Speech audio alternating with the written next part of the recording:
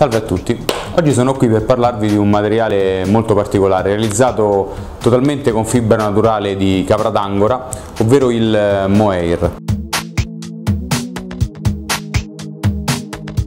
Personalmente preferisco utilizzare il Mohair avvolgendolo a mano per valorizzare al meglio la lunghezza delle fibre magari spettinandolo un pochettino con del velcro, un pettinino per poter eh, estrarre le fibre più lunghe e dare più movimento all'imitazione.